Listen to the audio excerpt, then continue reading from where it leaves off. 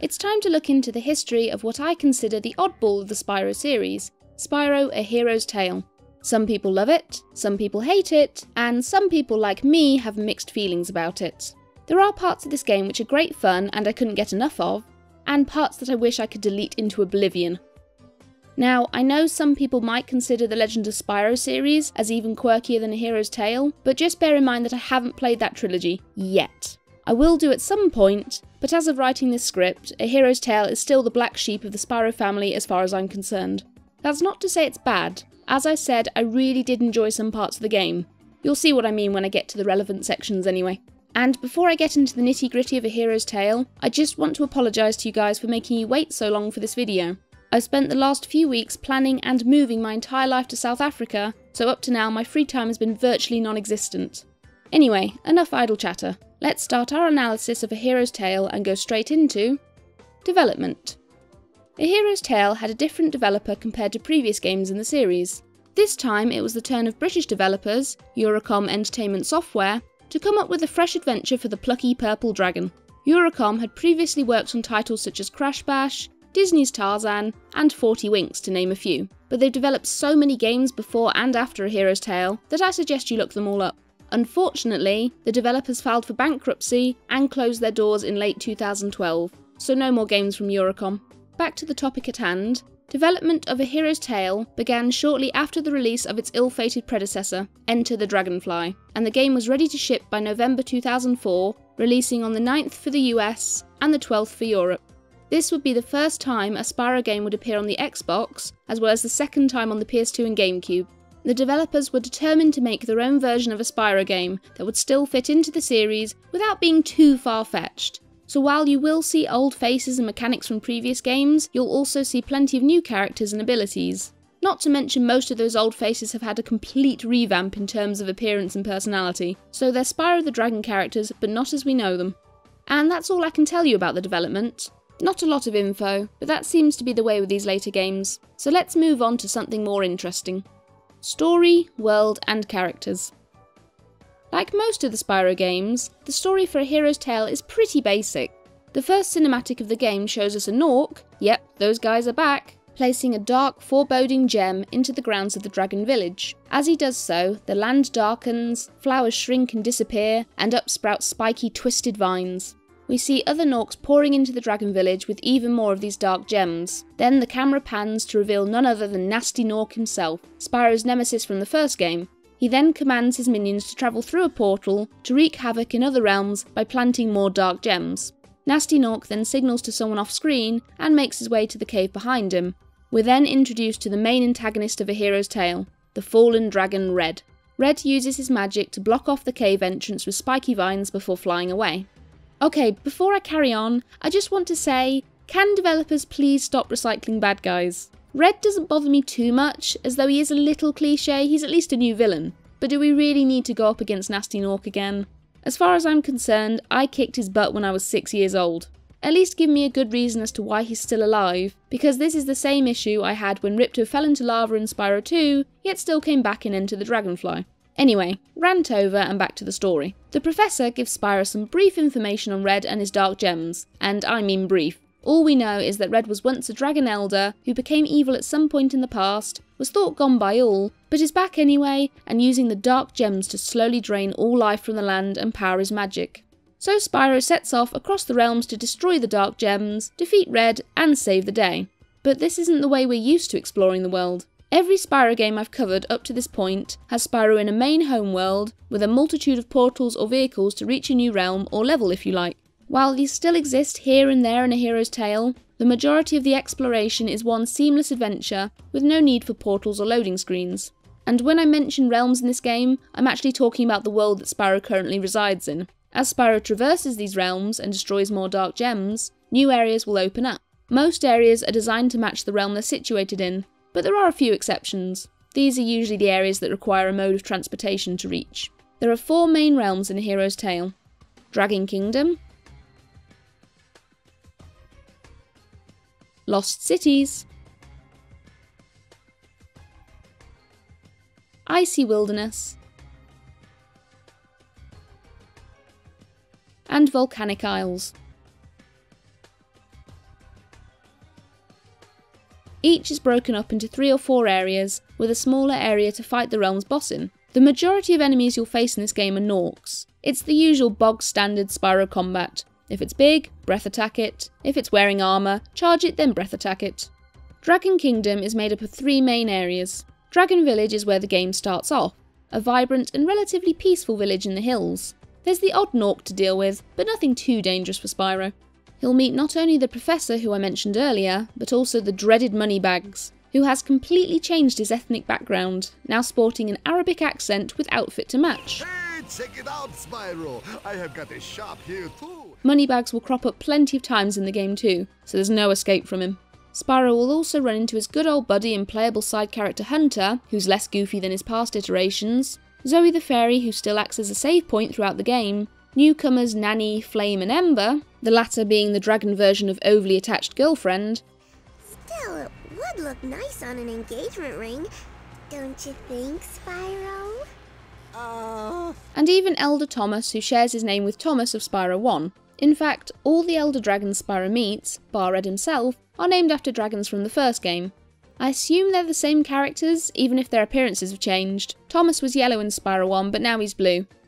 The last character Spyro will meet here once he knows how to double jump is everybody's favourite flying penguin, Sergeant Byrd. I'm not a massive fan of this version to be honest. His appearance is more or less the same as it was in Spyro 3, but his personality is completely different, and not for the better. In Spyro 3, he understood the importance of dragon eggs in his world and helped Spyro in any way he could to retrieve them. In A Hero's Tail, however, he regards collecting dragon eggs as a waste of his time and sees more value in the light gems. At least playing him is quite fun. Moving on to the next area, and the first that differs from its realm, we have Crocovile Swamp. This dark bog is filled with Crocovile natives, blue dragon dogs, dragon eating spiders and plants, various traps, and of course, deadly quicksand. Here, Spiral will meet another playable character, Blink. Blink is the professor's nephew and has what he describes as fresh aerophobia, a fear of not being underground. He's also my most hated character in the game. I'll show you why later on. Spyro meets two more characters in Crocovile Swamp. Fredneck the Frog, who will help Spyro cross the deadly quicksand by way of his lily pads, and Elder Magnus, possibly the campiest dragon that's ever existed and nothing like his past self. Spyro, darling, need to learn as much as you can to help you in your quest to find Red. Magnus of Spyro 1 was a sandy colour with brown spots, and sounded a lot gruffer when he talked. Also, Spyro 1 Magnus was a peacekeeper dragon, so he was quite well built, whereas a Hero's Tail Magnus is a little on the chubby side. Still, I'll give this version points for making me chuckle. Finally, on to Dragonfly Falls, an exotic island complete with caves, waterfalls, and tropical flora. New enemies include vultures that will not only do damage to Spyro but also knock him into piranha infested waters, and angry goats and their staff wielding shepherds, which is a nice little throwback to Spyro 1. Once everything's been done in these areas, and 10 dark gems have been destroyed, Spyro can head back to Dragon Village to take on Gnasty Gnorc, located in Gnasty's cave. As he makes his way across the bridge, it begins to collapse, forcing Spyro to make a mad dash to the other side. He makes it, of course, because, come on, he's the hero of the game, and we're then introduced to this version of Gnasty Gnorc. I'm guessing the dragons in Spyro 1 were right about him being simple, because not only does Gnasty not remember the details of his previous fight with Spyro, he thinks he won it too. Spyro's not really in the mood for stupidity and gets the fight going. The boss battles in this game are fairly repetitive, and if you're like me, you'll probably be bored halfway through wishing they were over. I'll go into more detail about each one in the gameplay section. Anyway, Spyro defeats Gnasty Gnorc, again, which in turn releases a fairy called Amp from Gnasty's mace. She blesses Spyro with electric breath. Spyro then makes his way to the Professor's teleportation device in order to go to the Lost City's realm. Another cutscene will play, showing a Gnorc informing Red that Gnasty was defeated by our plucky purple dragon. Red takes out his frustrations on the poor Gnorc, freezing him solid and smashing the ice to pieces, which gives us a glimpse into more of Red's power. The camera then pans to reveal the next upcoming boss, Ineptune, a huge, ugly mermaid that reminds me of Ursula from Disney's The Little Mermaid. When Spyro arrives in Lost Cities, he'll start off in coastal remains, an area made up of sandy beaches, lakes, and ancient ruins. New enemies here include two different types of crabs, a smaller one that can be charged or breath attacked, and a larger one that can only be defeated by charging to knock it over and then head bashing its belly. There are also hostile natives and all their traps that Spyro must avoid, as well as clams and jellyfish in the pools of water. We meet two new characters here. The first is Otto the Otter, ha ha, a surfer dude with the personality to match. He tasks Spyro with refilling his pool because, you know, he can't apparently do that himself. The second character is Turtle Mother, who tasks Spyro with protecting her offspring while they make their way to the water. The next area Spyro will visit is Sunken Ruins, which is accessed by destroying the Dark Gem in the large beach area and riding the elevator down. Sunken Ruins is what remains of a vast underwater city, filled with enemies such as Mernorks, red dragon dogs, and pufferfish. Spyro will meet a friendly mermaid here named Lily, though she doesn't seem to understand what Spyro is. A lot of the exploration here involves avoiding falling into acid pools until you unlock the invincibility power up, pole swinging, elevator riding, and flipping switches, so it can get a bit tiring to navigate after a while. The last area to visit in Lost Cities is Cloudy Domain, a city high up in the sky. This one's a mixed bag for me. I love the look of the place. It's kind of Cloud 9 realm from Enter the Dragonfly meets Cloud City from Star Wars. It's just the platforming that frustrates me. It feels awesome to jump and glide from platform to platform high above the clouds, shooting enemies out of the sky. Then you get parts like this. I mean, could you make platforming any more boring than this? Enemies in Cloudy Domain include seagulls that apparently poop explosives, and flying Gnorcs for a nice change of pace. Spyro will meet Elder Titan here, who vaguely looks like his Spyro 1 counterpart. Vaguely. He hasn't aged well either, with poor hearing and possible early signs of dementia. Quite sad, really. Once Spyro has destroyed enough dark gems, he can head back to the main hub and enter the acid filled watery tomb to deal with Ineptune. She comments on Spyro's size, telling him he's larger than she expected, which completely throws Spyro off. She then proceeds to show off her dreadful table manners by spitting acid at Spyro, which in turn starts the fight. Once she's been defeated and sinks into the acid water, a new fairy will appear called Aqua, she grants Spyro the power of, can you guess? Yep, water breath. Spyro can now move on to the icy wilderness realm, which gives us the next cutscene involving Red. After killing yet another poor Gnorc out of frustration, Red brings in a new enemy to slow down Spyro, a mammoth. Spyro will arrive in Frostbite Village. This place is made up of snow covered towns, frozen over ponds, and ice caverns. Enemies include the native Eskimos and, of course, Yetis. There's always a Yeti. There are two new characters to meet here Phil the Penguin and his wife Peggy, who both set Spyro tasks to complete. As he makes his way through the area, he'll come face to face with the mammoth from the cutscene earlier. Before Spyro can fight back, he is stomped and promptly captured by the mammoth. Sparx is also captured, but manages to find a way out and zooms off to get help. He finds Hunter practicing his archery, and this is where the new area begins Gloomy Glacier. This area is mostly made up of caves of various sizes, filled with prehistoric bones and booby traps. New enemies include large bats that swoop down to attack Hunter, and a necromancer who summons skeletal warriors to fight for him. We meet an old friend in the caves too, though he might as well be a stranger given how much the developers butchered him. Uh, uh, hey, uh, it's not my old pal, Hunter. What are you doing in these parts? Yep, that is Bentley the Yeti from Spyro 3 now with just two brain cells and no fight in him whatsoever. He's been kicked out of his home by other Yetis and can't apparently chase them away himself, even though that's exactly what he did in Spyro 3 against the Rhynocs. Hunter helps him out by defeating the aforementioned Yetis, and we get to take a look at Bentley's home, which is pretty cool. No sign of Bartholomew though. Once Hunter makes his way to the end of Gloomy Glacier, Spyro can be found in a suspended cage in Ice Citadel. Hunter frees him and asks if he'd like help on his quest. Spyro, apparently forgetting the fact Hunter just saved his butt, rudely declines and carries on by himself. Poor Hunter, nobody appreciates you, buddy. The Ice Citadel is a large metal building and is pretty boring to look at, really. It's also well below freezing here, judging by what the resident Ice Princess tells us. Please warm this place up. It's colder than a witch's. I'm on it. New enemies include bear traps that will snap at Spyro when he gets too close, and ice golems, which I couldn't seem to defeat with flame breath, only fire bombs. Spyro will meet the final Elder here, who's been imprisoned in the Citadel for some time given the tallies on the wall. Astor is a green dragon, whilst his Spyro 1 counterpart was a dark grey colour. He's also impatient, and sometimes rude. Frequently cutting Spyro off mid sentence and mentioning Spyro's ADD. Once all the Dark Gems have been destroyed, it's time to head back to Frostbite Village and deal with the big bad boss. But it's not the mammoth we're up against, it's actually Red. I guess the mammoth is no more, given Red's warning to it if it failed. If you let me down, you know what will happen. This has got to be one of the most irritating fights I've ever done in a Spyro game. I'll tell you why later on. Once Red has been bested, he flies out of the arena, dropping his scepter in the process and releasing a fairy named Frieza. She grants Spyro the power of Ice Breath, the most awesome breath in the game given its usefulness.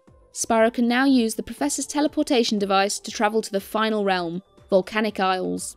We're treated to another cutscene showing Red flying to the top of a volcano, and once Spyro arrives in the first area, Stormy Beach, the Professor explains that Red has a secret laboratory hidden deep inside the volcano, and that he's gonna go there himself to stop Red.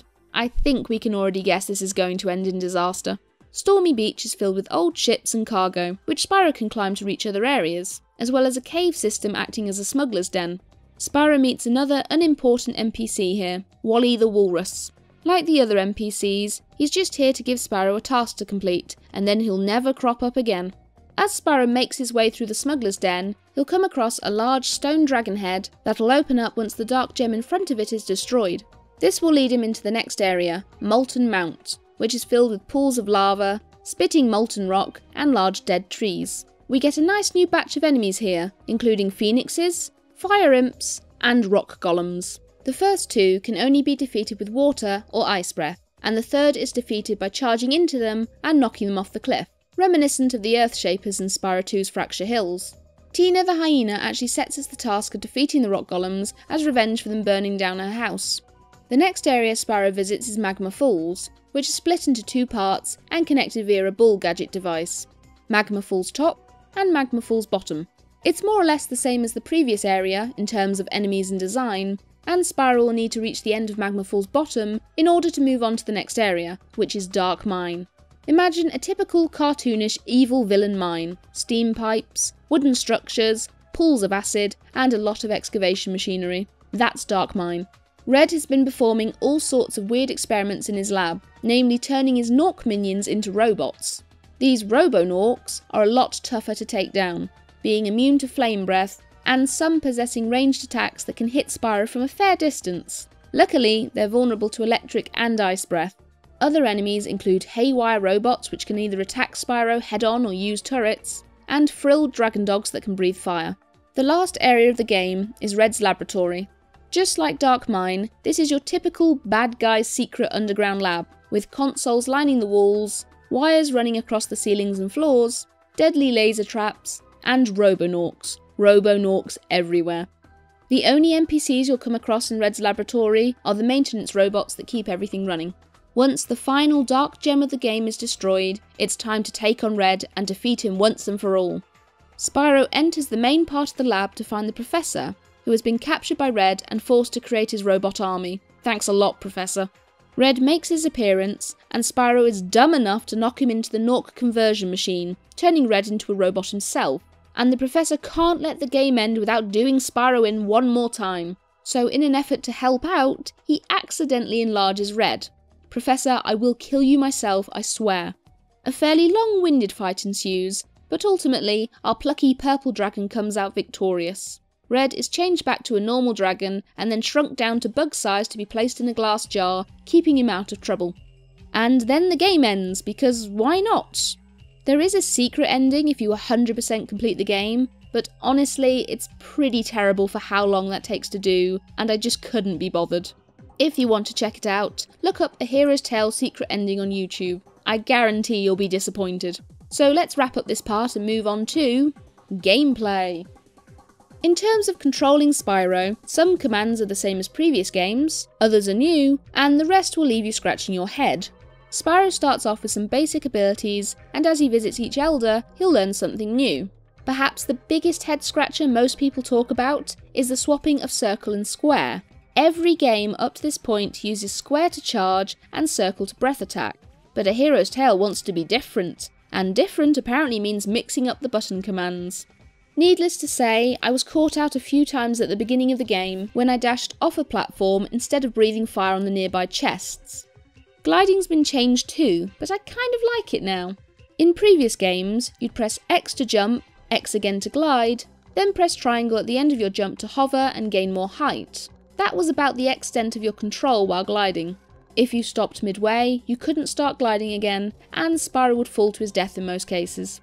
In A Hero's Tail, Spyro learns the ability to double jump by pressing X and then X again, but loses his hover ability, so you're effectively gaining the height before you start gliding. Letting go of the X button will stop Spyro's glide, but holding it down again will continue it. Also, to make things a little easier for those trickier ledges, Spyro will grab onto the edge just in case he doesn't quite clear the top. I found the ledge grab to be hit and miss though, so it's best not to rely on it. As I mentioned before, each Elder Spyro visits will teach him a new ability. Elder Thomas teaches him how to horn dive, which is necessary in order to destroy all the dark gems scattered about the realms. Horn dive functions the same as head bash from previous games, and is performed by double jumping, then pressing the circle button. Elder Magnus teaches Spyro how to pole spin, because of course he does. It's fairly simple to perform. All you have to do is jump towards the pole to grab on, then press X to jump to the next pole. Changing direction is as simple as pushing in the opposite direction with the analog stick. Next up is Elder Titan, who teaches Spyro Wing Shield, performed by pressing and holding triangle. I personally never use the Wing Shield in normal combat. It's not as awful as the one in Enter the Dragonfly, but I'd still rather outmaneuver and kill the enemy before they throw a projectile at me. Finally, Elder Astor will teach Spyro the wall kick ability, performed by jumping between two close together walls and pretty much mashing X all the way to the top. Spyro's other mechanic, which is worth going into detail about, is his various breath attacks fire, electric, water, and ice. Each breath can be selected by using the D pad on the PS2 controller, we all know fire breath, so let's talk about electric breath first. It's mostly used to power switches and devices which you'll find in pretty much every area of the game. It can be used to defeat enemies, but it takes longer to do so than fire breath, so I never really used it as my main attack and just stuck with fire breath for the majority of the game. The next one you learn is incredibly useless in my opinion. Water breath cannot defeat enemies, only stun them, and it's used for the odd water device that needs to be turned on or for pushing objects. Okay, it can kill phoenixes and fire imps that appear later in the game, but so can ice breath. I feel like water breath only exists so that the player gets a reward for killing the big bad boss. By far the most useful is of course the one you get last, ice breath. Unlike Enter the Dragonfly, where ice breath felt pointless due to fire electric breath killing enemies faster, Ice Breath in A Hero's Tail bypasses the process of having to knock off an enemy's armour by letting you freeze any enemy regardless of size or shield. All you then have to do is charge into them to kill them. Not to mention it has quite a large spread. I was freezing enemies that the ice breath particles didn't even seem to touch. Gotta love those hitboxes. I may as well mention the bomb ammo Spyro can pick up and spit as well. This ammo comes in four varieties just like Spyro's breath attacks. Fire bombs, ball lightnings, aqua bombs and ice missiles. They can be thrown by tapping R1 and thrown even further by holding down R1. To be honest, I hardly used the bombs and never felt like they were a necessary part of the game, so I don't have footage to show you of all their different effects. Sorry! In all, Spyro's mechanics and abilities whilst navigating through the realms feel very smooth and responsive, making platforming and combat with him pretty enjoyable. Especially so when you remember that this came out after Enter the Dragonfly, and the platforming and combat in that was not great. Of course, Spyro isn't the only character to play as in A Hero's Tail. There's Sparx the Dragonfly, Hunter the Cheetah, Blink the Mole, and Sergeant Byrd the Penguin. Everybody bar Hunter is involved in minigames, and each minigame needs to be completed twice to collect all the available items, first for a Dragon Egg, and then again for a Light Gem. Dragon Eggs aren't necessary to collect, given they're only used to unlock cosmetic skins, artwork, model viewers, and so on, Light gems are the important items in the game, as Spyro needs to collect enough of them in order to unlock the Professor's various gadgets and power-ups. But seeing as you get the Dragon Egg first on each minigame, you're going to collect a fair few regardless. So back to the side characters. I want to start with Hunter and Blink first because, like Spyro, their gameplay involves platforming. Except while I found Hunter very rewarding to play, I thought Blink was absolutely terrible. So what can Hunter do? Well, obviously he can't glide or breathe fire like Spyro, but he can leap pretty far and high with his double jump. He also has a stomp attack that's the same as Spyro's horn dive. Then there's that nifty bow of his that can be used to take out enemies from afar and break open chests. The bow can either be used manually by holding L1 and firing with square, or automatically by waiting for the reticle to appear on enemies and chests and then hitting square. Hunter can even find and use explosive arrows for a bit of extra kick, usable by pressing R1. These are necessary in order to break open certain walls and find goodies inside. He's not useless in close quarters combat either, able to deliver a nasty dash punch with circle button, and even use his bow as a melee weapon by hitting square whilst in the air. He can also perform a flying kick the same way by pressing circle, but I don't think I ever use this in combat. The last nifty thing Hunter can do is wall climb, by running up to a climbable surface and jumping onto it. He'll then dig his claws in, and you can move him vertically or horizontally. While I only made use of Hunter twice during my playthrough, he was certainly fun to play. And given that he's integral in saving Spyro at one point, I don't feel like he's an unnecessary addition to the game. So what about Blink? Well, take a mix of Spyro and Hunter's abilities, jiggle them around a bit, and make everything feel 10 times slower, and you have Blink. Honestly, I really didn't enjoy playing him. In fact, I found him so awful to play that I gave up midway through his last minigame in Volcanic Isles. Blink's minigames involve going underground and destroying all the dark gems he can find there, but they aren't all located in the same area. That would be too easy and make this character less tedious to play, so Blink will have to make use of his digging, climbing, and wall kicking abilities to reach them. I would say his jumping abilities too, but both Spyro and Hunter put him to shame in that regard. Digging is accomplished by pressing circle and can only be used on certain surfaces. Doing so will move Blink into a new section of the minigame and act as a checkpoint for him, so at least if you die you don't have to start right at the beginning. Wall kicking is pretty much the same as Spyro's, except Blink can cling indefinitely to the wall. Butt bounce is the same as horn dive, and monkey barring along the ceiling is the same as Hunter's wall climb. You're just going forwards and backwards rather than up and down. Blink has two other abilities up his sleeve. He can use his laser blaster to destroy boxes and kill enemies, albeit very slowly. It's basically a crap version of Hunter's bow. Not to mention, if it's shot too much, it overheats.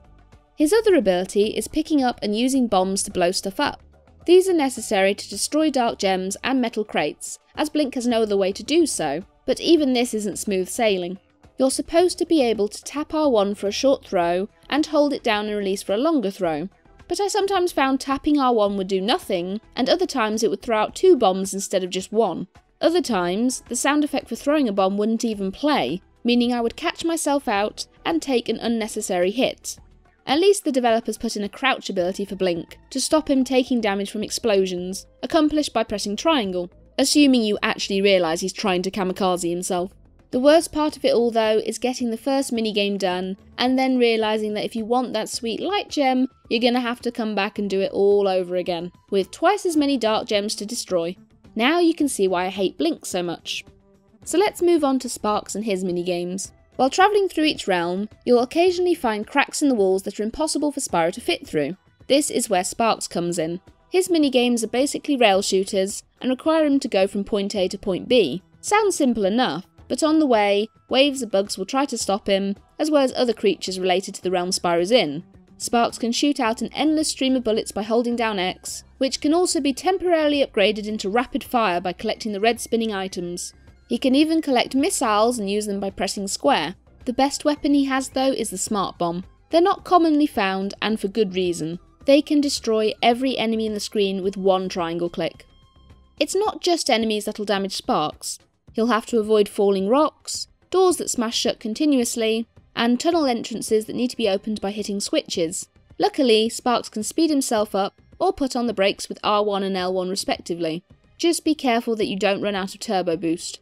I found the Sparx minigames quite entertaining. The only thing I would say was that the difficulty level was a complete mix. By far the hardest one to do in my opinion was only the second one of the game. The combination of slamming doors, falling rocks, and spiders throwing webs was very difficult to deal with. I got there in the end though, and it's still infinitely more entertaining than Blink's minigames.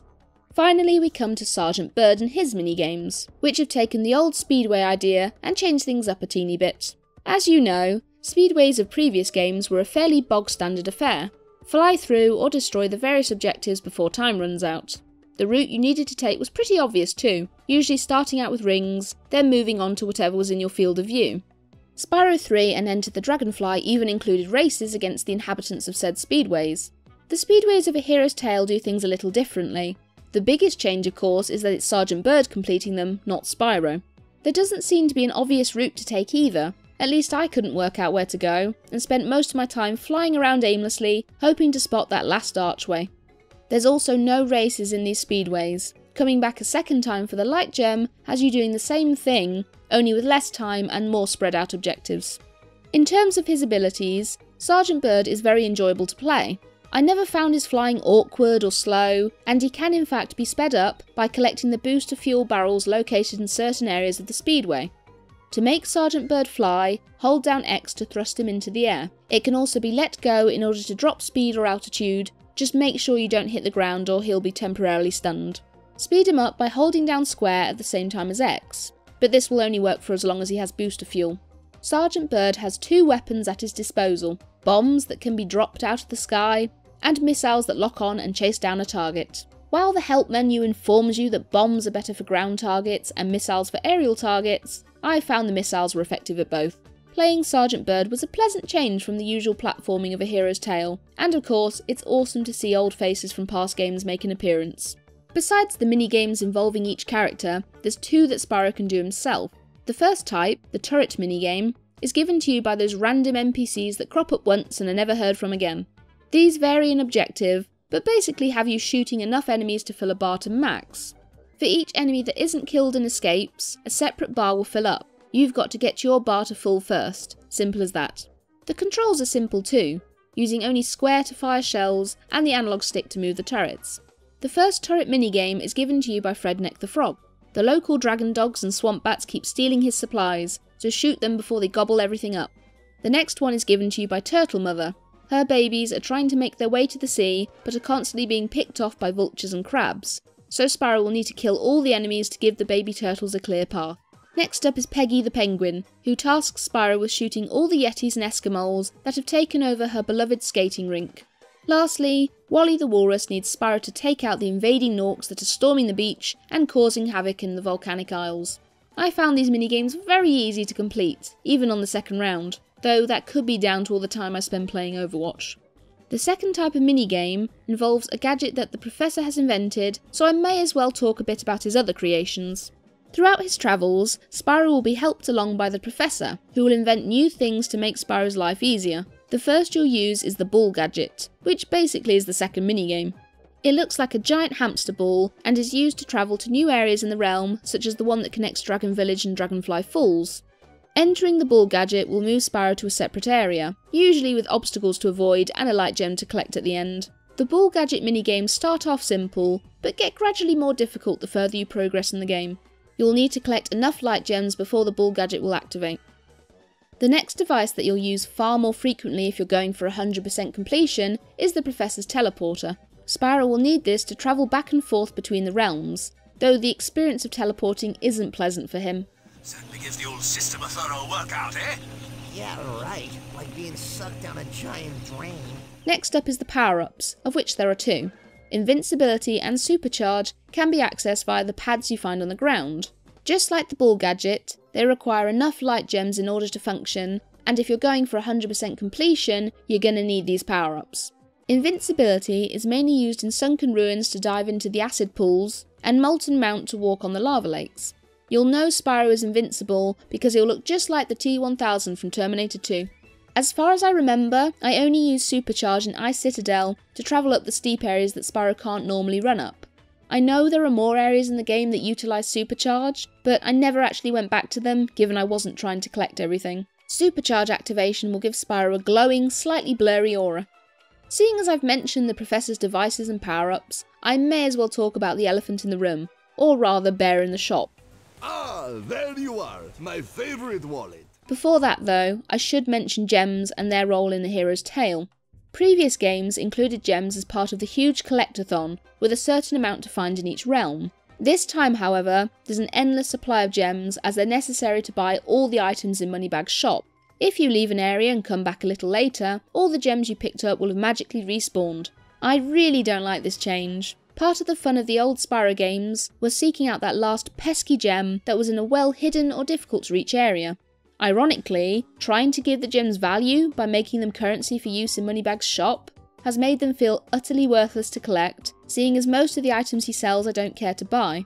So what does everybody's most hated Ursine sell anyway? Restocked items are lockpicks, the elemental bomb ammo I mentioned earlier, butterfly jars that restore Sparx to full health, double value gems, and teleport passes.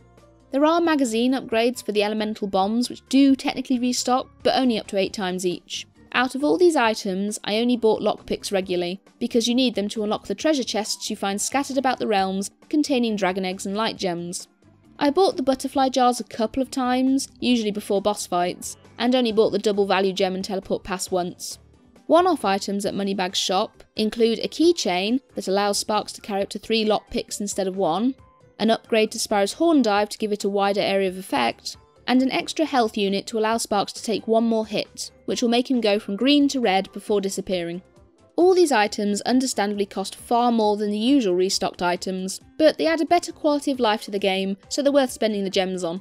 Plus, halfway through the game, I had more gems than I really needed, so buying this stuff was trivial.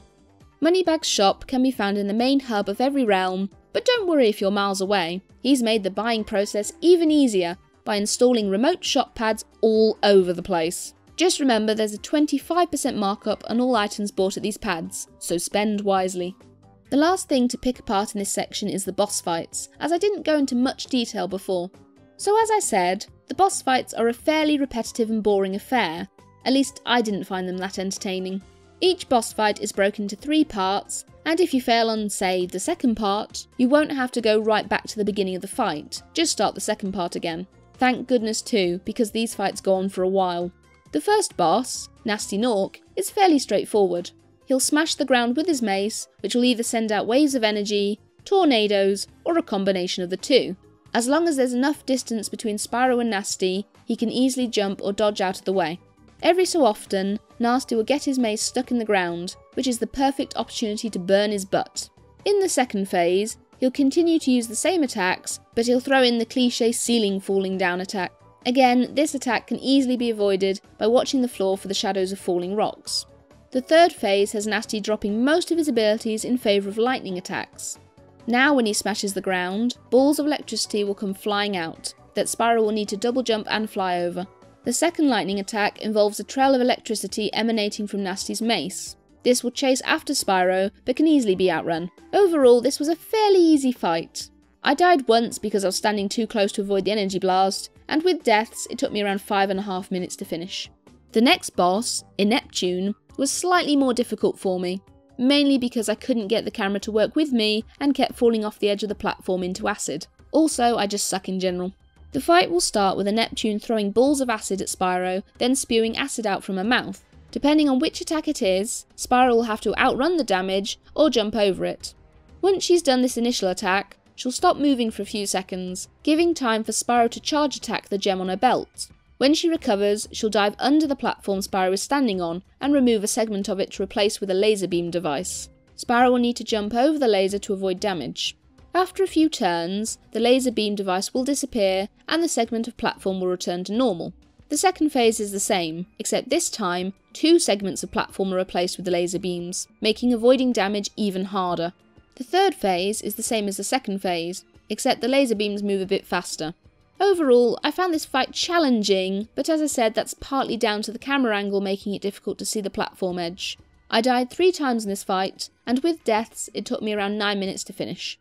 Next up, we have the first fight with Red, and oh my gosh, this has got to be the worst fight in Spyro history on account of its unfair difficulty and tediously long sections of nothingness. This might actually bring the Yeti boxing match in Spyro 3 down a peg or two in my bad books. The fight will initially start with Red sending out ice magic to freeze Spyro solid, but as long as Spyro's using Wing Shield, he can't be hit. For some unknown reason, the developers decided to make this part of the fight go on for 20 seconds at a time. That's 20 seconds of standing still and holding down triangle. I think later on in this fight, I actually started browsing Facebook to kill time. When Red decides the whole ice thing really ain't working, he'll move on to spawning crates of explosives. I'm really not sure what the reasoning is behind spawning them. All Red does is explode each one individually. He doesn't even push them towards Spyro. The goal is to use Water Breath to set them ticking and push them towards Red. It's supposed to do damage to him, but more often than not, after I pushed the crates into him and they exploded, nothing happened. I thought maybe I was doing something wrong, but after looking at other people's videos of this fight, I was doing exactly what they were, so I have no clue what was going on. Couple that with the fact Red will fly into the air if he catches you pushing the crates towards him, and you can start to see why I really don't like this fight. Rinse and repeat this whole phase a couple of times until the second phase begins. This time, Red will summon Dragon Dogs to attack Spyro, drop ice from the ceiling when he stomps his foot, and still cast ice spells to try and freeze Spyro's solid, so a lot of damage to avoid. If you manage to survive this onslaught, and push the exploding crates into Red a couple more times, you'll move into the third phase. This time, Red will melt part of the ice platform Spyro is standing on to give him less room to move. Then he'll keep turning towards Spyro to try and burn him with fire breath. After this, he'll cast an ice spray spell and chase Spyro with it. Luckily, this brings the ice platform back to its usual size. Now comes the unfair part of the fight. Note on the edge of the platform those energy devices. Red will turn these on, which will send out lines of laser beams, first clockwise, then anti clockwise, which Spyro will need to jump over. The lines are incredibly difficult to avoid, even if you're standing as close to the edge of the platform as you can, and given that the devices they come from spin round to a random position, you'll sometimes find they shoot out laser beams straight on top of Spyro's head. My other favourite thing they do? When Spyro takes damage from the beam, it knocks him back, which then makes him take damage again because the same beam is still coming towards him. If you can get through this nightmare part of the third phase, the rest is fairly straightforward. Avoid falling ice, wing shield, and blow Red up with explosive crates. By the end of this fight, I racked up 6 deaths, and with those, the fight took me a whopping 19 minutes to complete. The last fight against Red, or Mecha Red if you like, is thankfully a lot easier than the previous.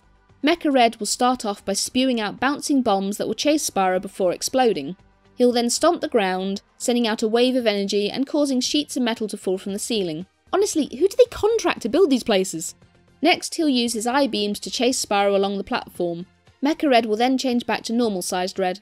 Rockets will then appear from below the ground, which Spyro can light with his fire breath and send into Red to do significant damage to him. Red will transform back into Mecha Red and repeat the same attacks but this time he'll also send out a jet of fire with his rocket boots. He'll then transform into normal Red again. Instead of rockets, Spyro will need to zap the generators to give Red a nasty shock, all while avoiding the bouncing bombs. Back to Mecha Red once more, and this time he swaps his jet of fire attack for missiles, but they're a lot easier to dodge than the former. This time when he transforms back into Red, he'll be surrounded by Robo-Gnorcs, who will initially attack Spyro until Spyro horn dives a switch. This will make them turn on Red and fire their lasers at him. Repeat this process until Red runs out of health and you're done. I managed to not die at all fighting Mecha Red, and the whole process took about six and a half minutes. And that's pretty much it for gameplay. If I've forgotten anything significant, I can't remember what it would be, so let's move on to music and voice work. A Hero's Tail was the first Spyro game on main consoles that Stewart Copeland did not compose the music for. Instead, that role went to British composers Steve Duckworth and Paul Lawler. Duckworth started his video game music career with Eurocom way back in 1993, and stayed with the developers until they closed their doors in 2012, so he's worked on soundtracks for pretty much every game they've developed. He now works at 8 Pixel Square, based just outside of Derby in the UK. From what I found out about Lawler, he's a freelance composer who started off writing scores for the likes of the BBC and other TV stations, before moving on to video game music. Quoting DeWolfeMusic.com's page about him, Paul now works from an analogue and modular synthesizer laden studio in an old Victorian vicarage out on the Lancashire hills. I'm not a music nerd, so analogue and modular synthesizer means nothing to me, but it sounds pretty cool. So let's talk about the soundtrack of A Hero's Tail, and this is where my non nerdy musicness lets me down again, so please forgive me. It would have been easy enough to copy Stewart Copeland's style because, after all, A Hero's Tail is still part of the main Spyro series. Instead, the composers came up with a soundtrack that feels a lot more bouncy and upbeat.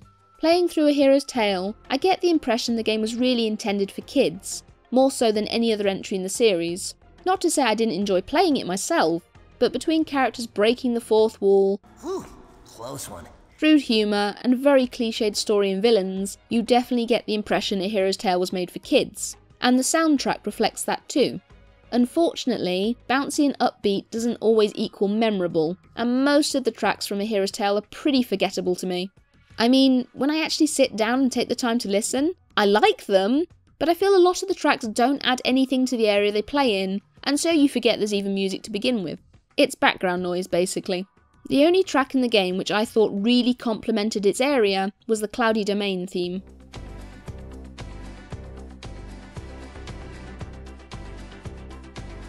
Making those death defying jumps and glides, trying to avoid the flying Gnorcs throwing boomerangs and magic at you, all while those trumpets boomed in the background and that choir sang angelically.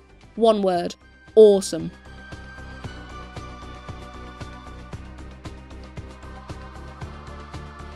Let's move on from the soundtrack and talk about the voice work in A Hero's Tail, because there have been some big changes in that department, namely the entire voice cast being replaced. The only two voice actors to return are Michael Gough, reprising his role as Gnasty Gnorc as well as taking on the role of the Professor, and Andre Sogliuzzo, returning to voice Sparx. Funnily enough, even with the same voice actors, the characters don't sound the same at all. Admittedly, Gnasty Gnorc only had three lines and a bunch of accompanying grunts in Spyro 1, but he sounds slightly higher pitched and nasally in A Hero's Tail. Spyro, it's been a while since I last defeated you in battle. The Professor doesn't sound the same either. I thought I could stop him after you had weakened him. But that's understandable given that Gough is filling in for Tom Kenny's voice. Sparx has had the biggest change, of course, because now he actually speaks rather than buzzes. Spyro always used to send me into cracks like this. A trend that will carry on in future Spyro games, though not with Sogliuzzo as his voice actor. The oddest voice change in my opinion is Spyro's, now voiced by Jess Harnell. Wow, a million brain cells? That seems excessively destructive. Uh, that seems kind of bad. Okay, okay, it's cool. Perhaps it's because I've been used to Tom Kenny's voice for the last three games, but I can't put my finger on why I don't like it. It's possibly because Harnell makes Spyro sound very nasally, like he has a cold or something. It could also be down to the writing, Spyro comes across as quite mean and snarky at times during A Hero's Tail, which makes him a very unlikable character to me. Still, that isn't Harnell's fault, and I'll give him points for his interesting take on the voice of Spyro.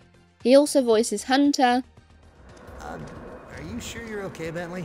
I could go in there with my bows and arrows and get rid of them for you. Moneybags. Hey, check it out, Spyro. I have got a shop here too. Red. I cannot believe this. What is going on around here? Do I have to deal with Spyro myself? And all the Dragon Elders of A Hero's Tail. For those unfamiliar with his work outside of the Spyro series, Jess Harnell has also voiced Wacko Warner of Animaniacs, and even Crash Bandicoot, Ripper Roo, and Pinstripe from the rebooted N. Sane trilogy. Moving on, we have Tara Strong, probably the best known voice actress in, like, the whole world. Her roles in A Hero's Tail are fairly limited, a shame given she's talented at what she does. She voices Blink the Mole. Yep, I bet I'd make a great sidekick. If it weren't for my fresh aerophobia. Both Flame and Ember. The force field has disappeared. I thought I was gonna be trapped in here forever. Maybe the Dragon Elder can tell you how to smash it into bits. Zoe the Fairy. Hey there, Spyro. When I zap you with my wand like this, your current position in progress is saved. And Tina the Hyena. Those rock monsters burned down my house. I'm actually quite sad.